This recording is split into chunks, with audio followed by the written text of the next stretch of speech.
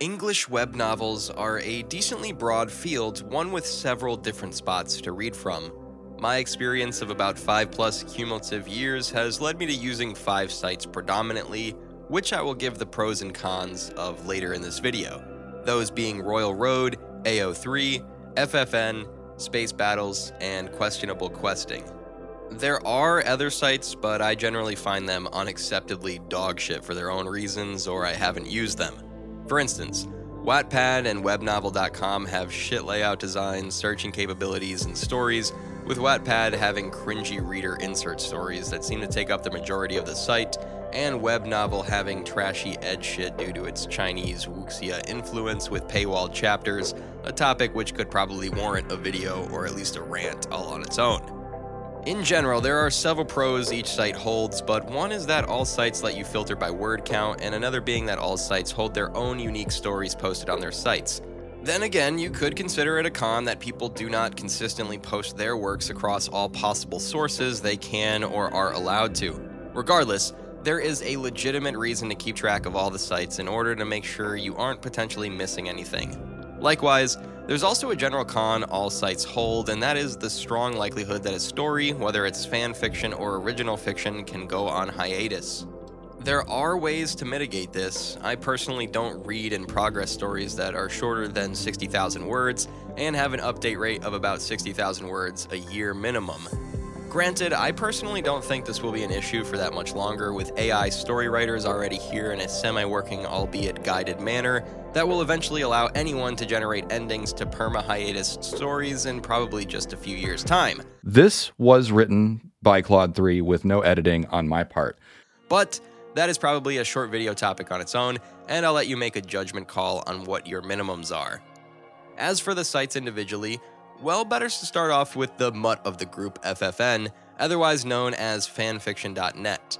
This site is one of the oldest fanfiction sites, which means it hosts a ton of stories going back decades. It does have some of its own good stories that aren't posted on the other four I listed, but generally any author who gives a shit and thus trying is likely reposting it elsewhere. It also, along with Royal Road and AO3, has an easy to search completion status option, which the remaining two don't. The site out of the five holds some of the overall lowest quality writing as a standard, has a wonky no sex rule which is applied randomly, and did have an incident in late 2023 where their emails straight up did not work for a whole month.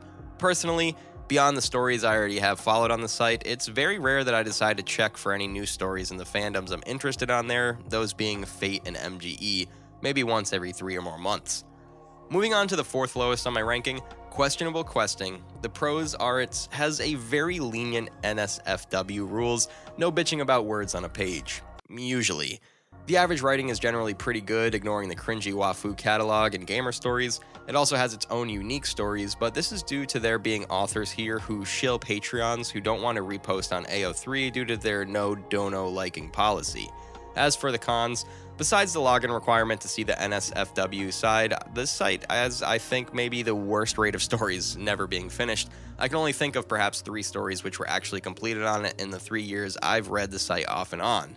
It suffers from no easy way to find completed stories except hoping the author has the word in their thread title, and this site suffers from a no politics real world depictions, which I've seen personally neuter a story, that being Monster Girl Invasion, which the author had to cut back on some of the realism that MGs would impact women in the relationship market. On top of that, this site is the worst at giving email updates. There's been issues with the site over the years, and there was a period of like six months last year where email notice were not working at all making FFN look like a nothing burger. On top of that, their emails are blocked by some of the big email providers due to them being listed under spam by some email spam prevention filter, so expect to check if your email works for the site. For the final cherry on top, if you don't log in like once every two weeks to a month, you stop getting email notifications, so you have to make sure you're logging in and not just reading the chapters you get inside the email notifications. So, overall, a site with good and varied writing that's mainly held back by design and service issues. The middle of the road is Space Battles, which is essentially the SFW site version of QQ, but with no email issues and no login requirement. Good writing, more stories get finished but still rare, and unique stories as well. The only issues are the same rules of the no politics real world depictions, no good completion filter, mods and admins being insufferable every time they pop up, and general cringy Twitter leftism that permeates a lot of their rules and mods.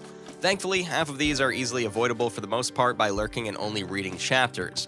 Overall, despite the few downsides, it holds good stories that you might be unaware you even want to try reading, and it's a solid pick. In second place, we have Royal Road. This is the place for original English web fiction for the most part. I've used the site for a cumulative 7 or 8 years, give or take, having started using it back in 2015. Solid stories can be found in abundance of all different types of genres with good search capabilities, but one of the most popular is isekai, and while there's a plethora of shit power fantasy isekai on the site, you can find good isekai on it as well, through various means like the user liked recommendations, authors shouting at each other, and Rising Tab, as well as user advertisements. As for cons, to start with, there's the user advertisements. Oh god, are they so fucking dog shit at times. A couple of years ago, people started using Lufunny memes for their ads, and now 50 to 60% or even higher, likely 70% of all ads do these backslash R meme posts, which cause my blood pressure to skyrocket. I recently decided to just take the plunge and finally make the use of uBlock Origins feature to block specific links, and just start nuking any insufferable ads which pop up on my screen, and have collected a few blocked links in my uBlock filters now. A smarter person would just block the ads entirely, but like I said, there are some good ads which lead me to new stories. Another con was last year they removed the ability to see upvotes and downvotes on reviews, pulling a YouTube moment. The reasoning behind this was due to a group of mass upvoting and downvoting reviews. They decided to take the easy nuclear option instead of adding better abuse detection methods, which in turn means that instead of trusting a highly rated review, you have to spend more time combing through reviews getting a general vibe check on whether the story is good or not. An annoying downgrade, but one that all of the other sites have as an issue as well. A third con is no real NSFW stuff or real world stuff on the site unless it's in small doses. The final con of note is that a decent chunk of authors, when they complete their books, take it down off the site in what is called a stub to post on Amazon. There's several options one can technically do here. You can 1. Keep relatively up to date on stories and make sure to download them before they're taken down. 2. If you don't care about Amazon's shitty behavior, you can buy Kindle Unlimited or even more likely find a free trial code online. I personally found a 3 month long one and the only time I bothered to try it. Take note that Amazon keeps track of what books you look at. You might not want them keeping track of that harem fic you looked at. Or three, you pirate it in some way, either using a site that automatically scrapes chapters or by using a site which shares books for free. Whatever you choose is up to you. Insert generic statement about not promoting piracy. Mm-hmm. Yes, Big Brother YouTube. Overall, a good place with only a few cons that are outshined by what you can find. Final one, which is on top of the list for me, is AO3 archive of our own. Overall, it's my personal favorite site. There's pretty much no rules on what content can be uploaded, no matter what NSFW or real world stuff it is. It, on top of having the best layout design in my opinion, also has the most detailed tag sorting that makes finding what I want easy, whether it be Fate, Isekai, self inserts, original fiction, Monster Girl Encyclopedia, other MG stuff, Femdom, essentially all the tags a man could ever want. Am I right, my 100% third world or male audience? There are honestly very few cons to really mention. There is the con of the freedom also meaning a person's freedom to make cringe shit, as seen with the plethora of K-pop, SMP, and reader insert shit, which are annoying, but the site allows tag blacklisting for accounts, so this is an easy fix. Another con, like I said, is that some writers just don't post on the site due to the no direct Patreon linking, as well as there being stories that are account locked, meaning you can't see them without being logged in, which can be irritating. A third con, which seems due to the vastness of the site, is that some fandoms can be severely sparse. Would it shock you to know that there's only 15 Blue Archive stories with more than 60k words, and only 6 of them are not seemingly on hiatus at the moment? Granted, this might be more of a broader fanfic issue than just a AO3 issue, but regardless, despite AO3 having such huge traffic, they are concentrated in a few fandoms, with the rest getting scraps, so you best be a fan of either a popular fandom or a more generic tag, or be willing to read small one-shots. Regardless, that's about it. Not much more to say about it. Some stories are reposted across various sites, and furthermore, looking at one site may show you stories you missed or weren't popular on other sites. For instance, some original fiction can be easier to spot on Space Battles as opposed to Royal Road, where it might not have been picked up into the rising recommendations. That's all to really know. If you are interested in either more content about web fiction, perhaps check out my 10 year roundup video, or for general isekai content, the rest of the channel. Next video will hopefully be a Fate fanfiction overview, that or a MGE one, whichever I feel like doing. Until next time.